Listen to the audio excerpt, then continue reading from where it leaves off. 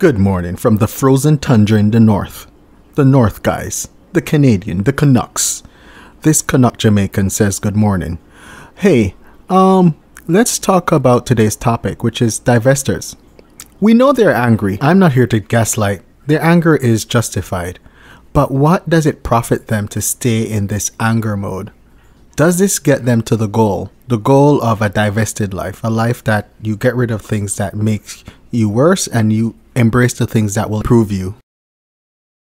Black YouTube, where accountability, personal responsibility are rejected, the other guys to blame. I bear no fault in anything that's happening in the community. Welcome to Black YouTube. Welcome to the place where fat women ask broke men to level up and broke men ask fat women to lose weight. What a place.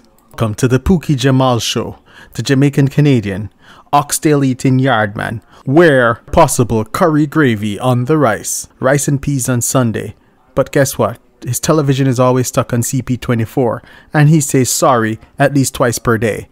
Welcome to the Pookie Jamal Show. I have a little rant that I need to go through, and this is for the divestment movement. This is my rant. Let me tell you something. Black men have been divesting individually for years. For years. If you look at the rate of divestment of black men, meaning outmarrying, it has been double the rate of black women. Black men did not form groups to have this divestment. They didn't. They never saw the need for a group. They never saw the need to go into a group to bash black women and then go uh, go to get white women. What they learned was listen, two things, two important things. Image resources. Black men knew their image was tied to the NFL. It was tied to the NBA. It was tied to the MLB. Those guys were parading, hitting home runs, dunking, slamming the ball, spiking the ball after a touchdown to show that they were masculine masculine, masculine men. And through that, they helped to build their image. Now they had to fight against a lot of negative things because there were crackheads on the streets and drug dealers. You know, you know the the um, the school to prison pipeline. So they had to fight that because it was either you were a thug or a, or an athlete, and then you had those guys who became educated. Lots of those guys are actually Caribbean and African immigrants. And they came in a lot of them with degrees and or they went to school and they these guys they know this h1b stuff man. They they went to school and they never left the us and a lot of them are professionals today. Lawyers engineers dentists doctors a lot of them they're dedicated ones. Those are the ones that are marrying out at a high rate a very high rate. And so they understood that listen there were three kind of folks there.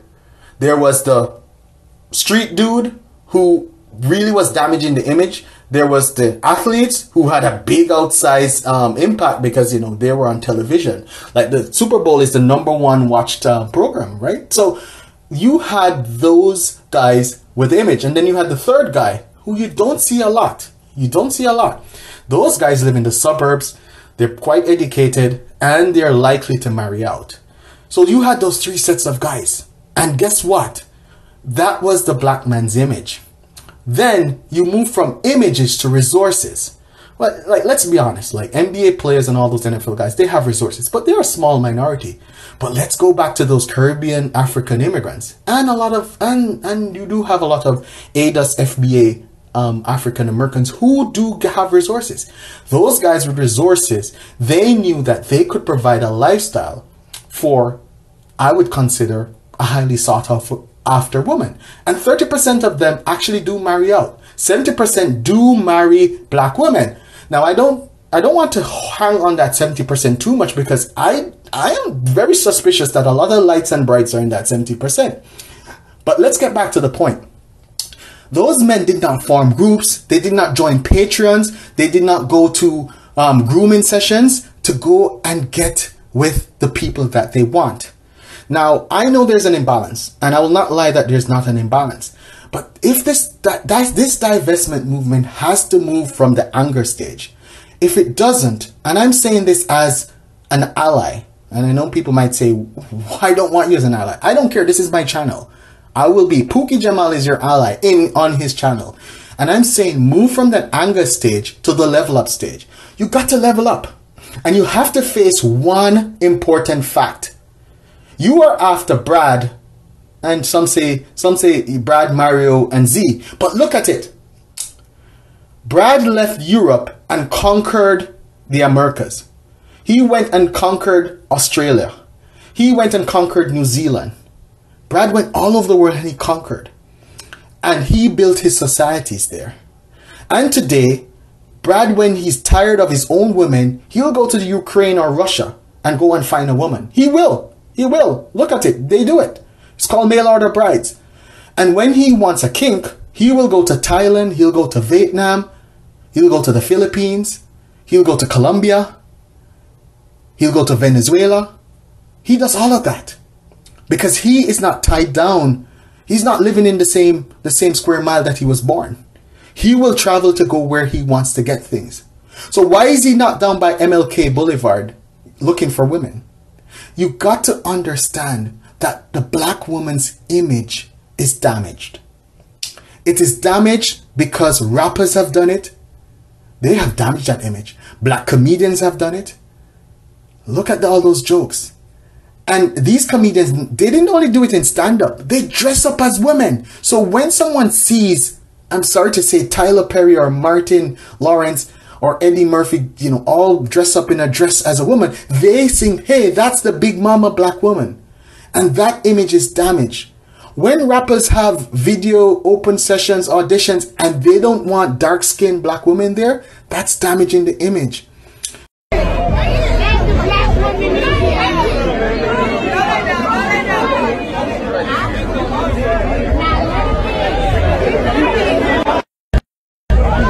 When Club 11 doesn't, their bouncers, I won't say it's 11, but maybe their bouncers don't allow dark skinned women, that is showing that there is a damage of that image. Now, black women, you have the choice to help to repair your image. Now, you can make allies of black men or you can make non-allies of black men.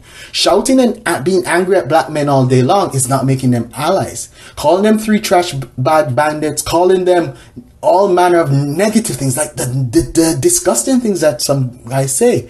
It brings up that angry black woman trope. That is not a good image. Now, if if if, the, if they want to continue it, then guess what? Ten years from now, the divestment movement will still be in its anger stage. It will when you get take on that real red pill and figure out that listen, you got to let go of that anger. It may take time. Trauma takes a long time to get rid of, but you got to let go of it. If you don't let go of it, it traps you. It keeps you in its own prison. And you are not able to truly love someone, truly care for someone. So you can't really go into a relationship with such trauma.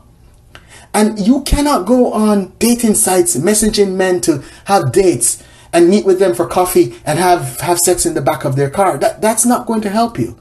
You need relationships. And to build relationships, that man has to see value in a relationship with you. He has to see you as a partner, someone that's there to support him. And men care about their kids. I don't want an angry, trauma bond woman taking care of my kids. I don't want that. I actually don't. And I'm almost certain a lot of men don't want that either. And a lot of you say black men don't speak for white men. I, I listen, listen, you guys just calm down and sit down a bit. A white man is a man and a black man is a man. We know what is wanted. It's obvious, right? Look at the standards of women. At first, it was slim. You know, you had your Cindy Crawford, Christie Brinkley. Oh, it was slim.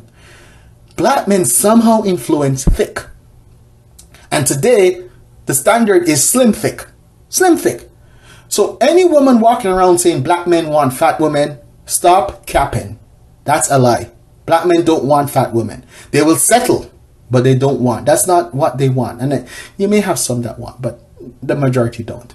So listen, focus on the gym, focus on getting therapy, focus on reading, traveling. Listen, the best thing you can talk about a date is your trip to Italy. You know, you you literally went to the real Transylvania. You went to Hungary. You know, you you traveled the world. You went to Finland. You took a tour. You took one of those Nord, those Nord, uh, Nordic um, cruises, and you went around and you knew history. Get to know the person that you want. Don't just think your anger against black men will be attractive. It won't, because he knows that later your anger will turn against him. And men are men. Men will cheat. Now, not all men will cheat, but you have to be honest, man. You got to be prepared for that you have to be able to work in a calm manner with someone. And if that's not natural for you, you've got to think that he may not want that. And so I wanted to go on this rant because I think a lot of divestment sellers are selling a lie and they know it. They know that they're selling you loneliness. They're selling you not a life with another race of men. They're selling you a life with a cat, living in an apartment with a cat, and what I'm trying to say to you is once you get out of that anger stage and move to your level up stage, you increase your chances that that's not your reality. Now, some people may want that reality. And I'm not going to say you shouldn't go for that reality. I mean, we're all individuals and we should. But we got to be honest with each other, right? We got to be honest. What is it that you want? And if you want to be bashing black men every day for the next 10 years, I don't know where that puts you. I mean, that's that's your choice. But if you want to bash a little and then, you know, wake up one day and say, hey, I am, look in the mirror. Are you 200 pounds? How many books have you read this year? Have you traveled? Do you know the, the culture and the history of the person that you want to attract? How would you, can you be a good parent to another man's child? Think about it. Those are the things, those are the questions that need to be answered after you get out of your anger. This is my run. Thank you.